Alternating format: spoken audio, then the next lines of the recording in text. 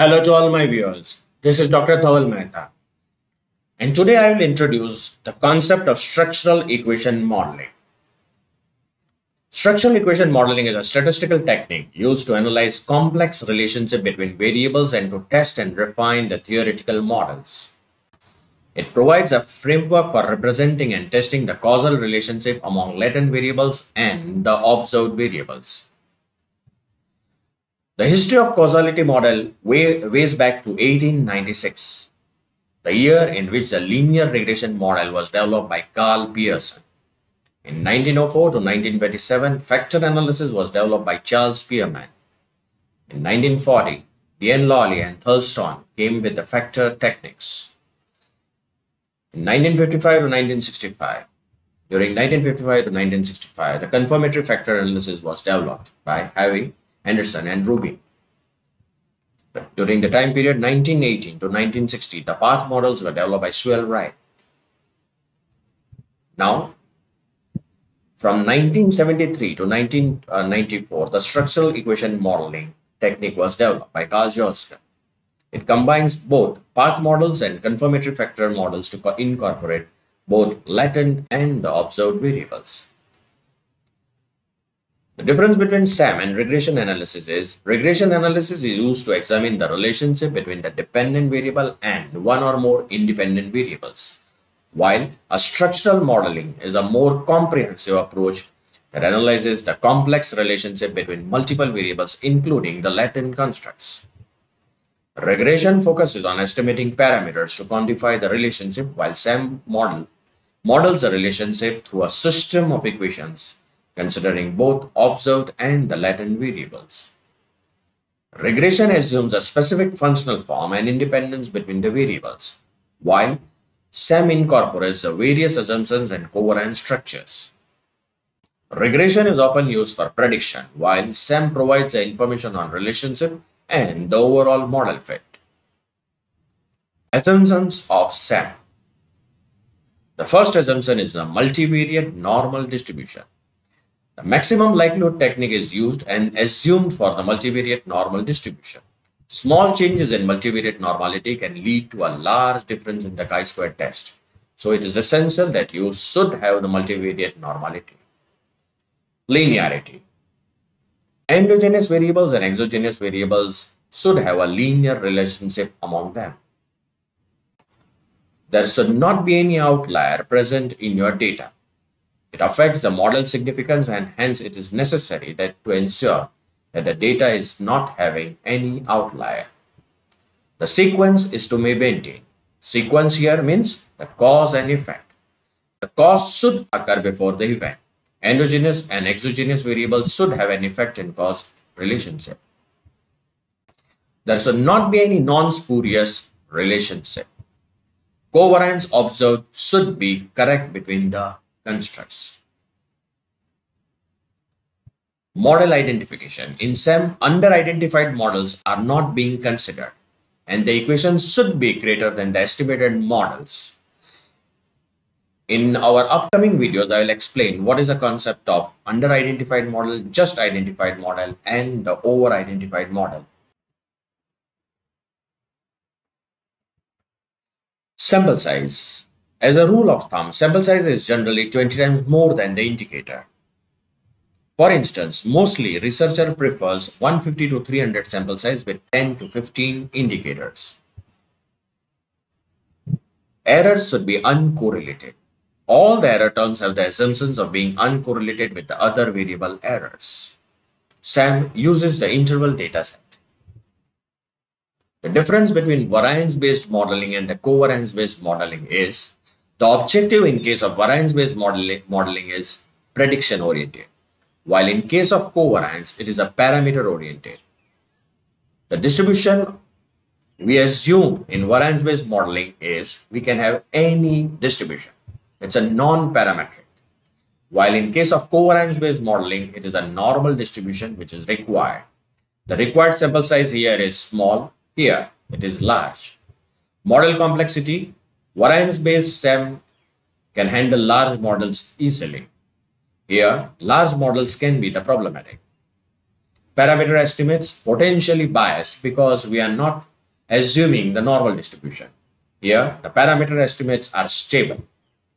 Indicators per construct. One or two can also work in case of variance-based modeling. Large number is okay. In case of covariance-based SEM, it is essential that, at, that each construct should have minimum 3 to 4 indicators. Less than that can create a problem of degree of freedom. Statistical test for parameter estimates. Inference requires jackknifing or bootstrapping. Here, not necessary. Assumptions must be met. The measurement model uh, we can have a we can work on formative and reflective indicators in case of variance based SEM. In case of covariance based, we can only work on reflective indicators. Goodness of fit, here we are having none, here we are having many. The scale of measurement. The data can be captured on nominal scale, ordinal scale, interval scale, and the ratio scale. Out of this four level, if either dependent or independent variable is on interval scale, then we have to use the structural equation modeling.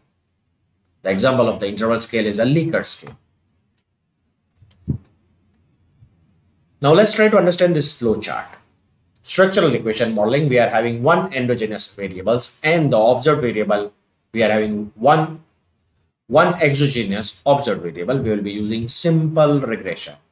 More than one exogenous variables are there, we will be using multiple regression. SEM, we are having two or more endogenous variable, observed variable. We want to study the relationship between exogenous to endogenous, we will be using multivariate regression. Endogenous to endogenous path analysis. Two or more endogenous variables are there and we are having latent variables where we want to study latent to observed variable, the relationship of latent to observed variables. Then we are going for the factor analysis. Latent to latent, then we go for structural regression. We are having scales to measure height, weight, and the liquid. But in case of social science, our problem is to measure attitudes, beliefs, perceptions, opinions, and feelings of the people. Let's say we want to assess the performance of the football team. This we can uh, do with the help of the performance of our football players. That is, say for example, four players are there, performance of Joe, Sue, Mark and Dennis will give us the overall performance of the football team. Similarly, in our research also, we are having constructs like loyalty and satisfaction, which we cannot measure directly. This we are capturing with the help of some statements S1, S2, S3 and S4. You can see here 1, 2, 3 and 4. The opinion, the perceptions of the respondents are captured on 5-point Likert scale. Strongly disagree, disagree, undecided, agree and strongly agree. In this scenario, we are using the structural equation modeling. In SEM, variables are divided into two main types. Latent variables, which you can see on your right hand side. So loyalty is the latent variable. This latent variable, also known as a construct, you will never find this thing or rather you should never put this construct on the questionnaire. On questionnaire, what will appear is your observed variables, the statements S1, S2, S3 and S4. Latent variables are the constructs that are not directly measured or observable but are inferred from the multiple observed variables. Observed variables on the other hand are me directly measured or observed.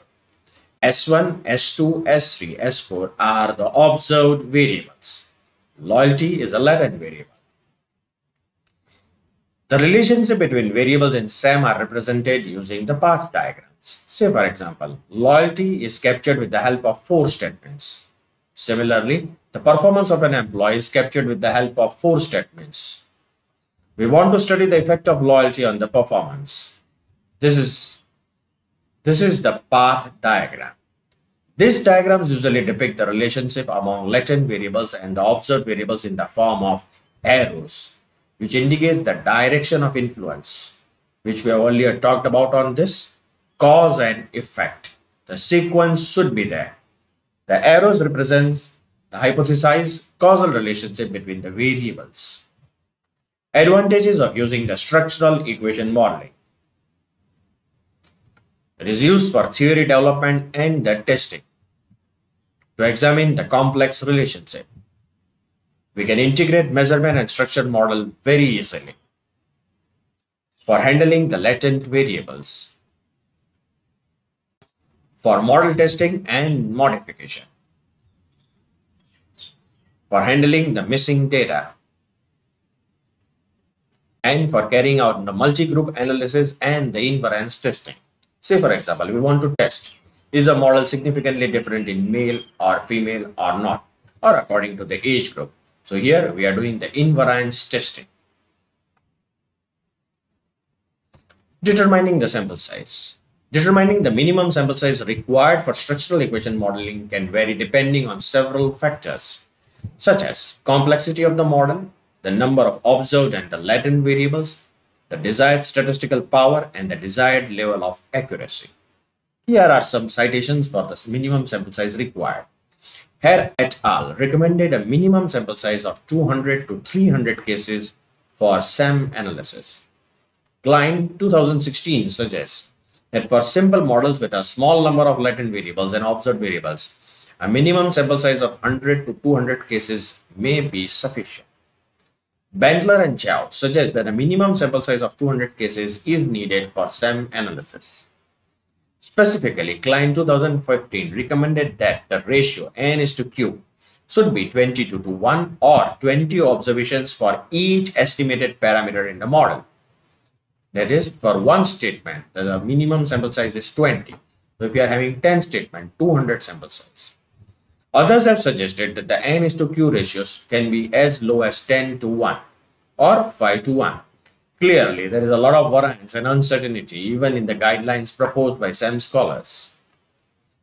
The difference between the measurement model and the structural model. The measurement model in SEM deals with the relationship between the latent variable and the observed indicators, addressing how well the observed variables measure the underlying construct. It focuses on the measurement aspect of the model. The structural model in SEM deals with the relationship between the latent variables themselves addressing the causal and indirect aspects of the model. It captures the direct and indirect effects, mediating and moderating relationship among the latent variables. The measurement model handles the measurement part, whereas the structural model handles the causal relationship among the latent variables. Together, they form the complete SEM framework for analyzing the complex relationship between the variables. Let's try to understand the difference between the measurement model and the structural model by this slide. When you are trying, uh, when you are studying the relationship between the latent variable and the observed variable, this one, it is known as a measurement model. But when we are trying to study the relationship between construct to construct, latent variable to the latent variable, then it is known as a structural model. Measurement model is also known as an outer model. Structural model is also known as an inner model. Let's try to understand this thing. We are trying to study the performance. We are trying to assess the performance of the football team. So this is done with the help of performance of Joe, Sue, Mark and Dennis. But it is not possible that they will not commit the mistake. So the mistake committed by Joe is M1 M2, M3 and M4. So the same thing happens in our model also. When we are capturing loyalty with the help of some statements S1, S2, S3, S4, there will be an error E1, E2, E3, E4. This error is known as a measured error. The measured error is estimated as a part of the SEM analysis and is typically represented by the error terms or residuals associated with each observed variable in the model. These error terms capture the extent to which the observed variables deviate from the predicted values based on the latent constructs. If variance of S1 is 73%, it means that S1 is able to explain loyalty 73 percentage. Here, S1 is able to explain loyalty 73%. Remaining unaccounted variance goes to the error E1, that is 27 percentage. Now let's understand that if the loyalty, which is captured with the help of four statements, S1, S2, S3 and S4, and the performance, which is captured with the help of four statements, T1, T2, T3 and T4. We are trying to understand the difference between the measured error and the residual error. So we want to see the effect of loyalty on the performance of the employee. The overall error in the model is represented by the by E1. So this is known as the residual error in the model. Residual error is specific to the structural model in SEM. It represents the path of the dependent variable that is not accounted for by the independent variable in the model. Or in other words, the unexplained component of this performance is the is E1. So what are the stages of SEM? The first stage is defining the individual construct. What items are to be used as a measured variable? Step stage 2. Develop and specify the measurement model. Stage 3. Designing a study to produce the empirical result. Stage 4. Assessing the measurement model validity. validity. Is the model valid? Yes. Proceed to test the structural model with stages 5 and 6. If the measurement model is not valid, refine the measures and design a new study. Stage 5. Specify the structural model. Assess the structural model validity with the help of goodness of fit uh, and significance, direction, and size of structural parameter estimates. Is your structural model valid? Yes. Draw the substantive conclusions and recommendations. If it is not valid, refine the model and test with the new data. So this is all about structural equation modeling. You can refer my playlist in which I have already uploaded many videos on structural equation modeling using IBM SPSS AMOS. You can follow me on LinkedIn and Twitter. Please don't forget to subscribe my channel and press the like button.